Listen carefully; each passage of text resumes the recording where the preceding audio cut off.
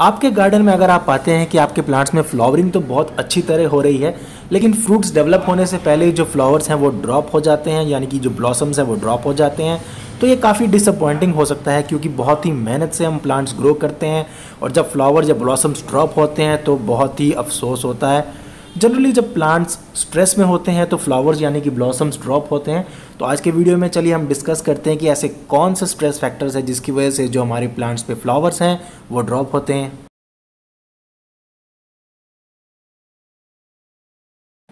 तो सबसे पहले हमें ये जानना होगा कि कुछ प्लांट्स में मेल और फीमेल फ्लावर्स अलग अलग होते हैं।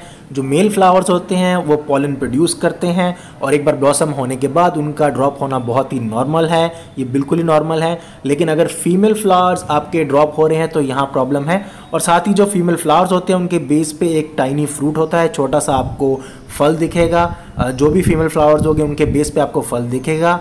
जबकि जो मेल फ्लावर्स होते हैं, उनके बेस पे किसी तरह का कोई भी छोटा फल नहीं होता। ये देखिए, आपके सामने ये मेल फ्लावर्स है और उनके बेस पे किसी भी तरह का कोई फल नहीं है।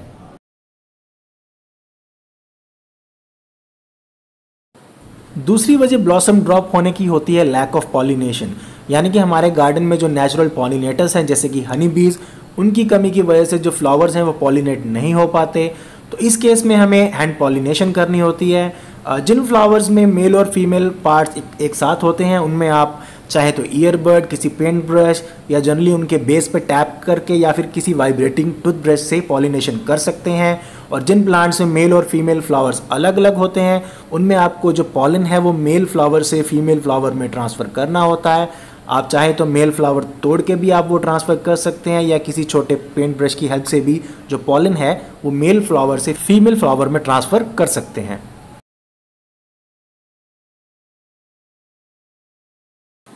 जब आप अपने प्लांट्स को पानी देते हैं तो आपको ये हमेशा ध्यान रखना चाहिए कि आप पानी एक्सेस में ना दें ओवर वाटरिंग ना करें, क्योंकि अगर आप ओवर वाटरिंग करते हैं, जो और आपका मीडिया है, वो हमेशा ओवर सेचूरेटेड रहता है, बहुत ही गीला रहता है। तो ये भी एक स्ट्रेस पैदा करता है प्लांट्स के लिए, जिसकी वजह से जो ब्लॉसम्स हैं या फ्लावर्स हैं, वो ड्रॉप होते हैं।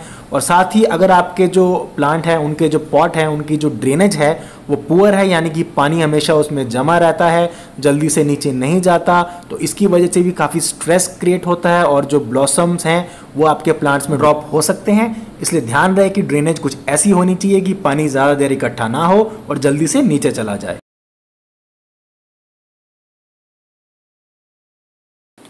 अंडर वाटरिंग भी प्लांट्स के लिए बहुत ज़्यादा स्ट्रेस क्रिएट करता है। अगर आप जो वाटर करते हैं अपने प्लांट्स को बहुत ही ज़्यादा इनफ्रीक्वेंटली करते हैं या आप अपने मीडिया को पूरी तरह ड्राई होने देते हैं तो ये काफ़ी ज़्यादा स्ट्रेस क्रिएट करता है प्लांट्स के लिए।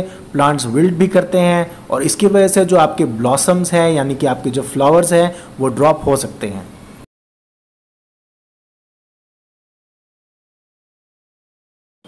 अगर आपके प्लांट्स को भरपूर न्यूट्रिशन नहीं मिल पा रहा है, यानी कि आपके प्लांट को जिन न्यूट्रिएंट्स की ज़रूरत है, वो उसे नहीं मिल पा रहे हैं तो ये एक बहुत बड़ा स्ट्रेस क्रिएट करता है आपके प्लांट्स के लिए।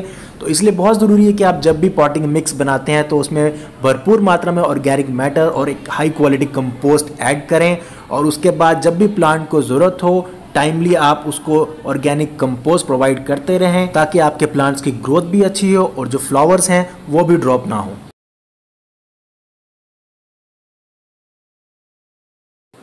हमारे प्लांट्स पे कुछ पेस्ट जैसे कि थ्रिप्स एक वजह हो सकते हैं फ्लावर्स ड्रॉप होने की।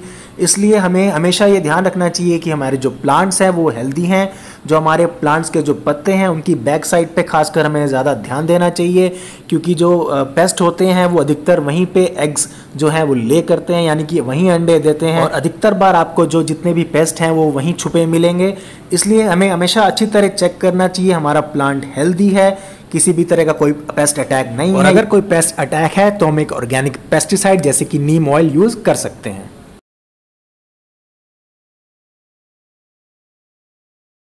एनवायरमेंटल फैक्टर्स जैसे कि टेम्परेचर का बहुत ज़्यादा हाई होना या बहुत ज़्यादा लो होना भी वजह हो सकती है फ्लावर्स ड्रॉप होने की। इसलिए आप हमेशा ध्यान रखें कि सही टाइम पर सही वैरायटी लगाएँ ताकि आपको प्लांट्स ग्रो करने में कोई भी दिक्कत ना आए।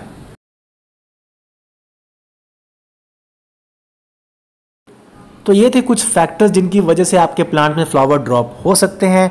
आपके प्लांट जो भी प्रॉब्लम फेस कर रहे हैं, अगर आप उसे सही तरीके से एड्रेस करते हैं तो ये श्योर है कि आपको बहुत ही अच्छा हार्वेस्ट मिलेगा, आपके फ्रूट्स बहुत ही अच्छी तरह डेवलप होंगे।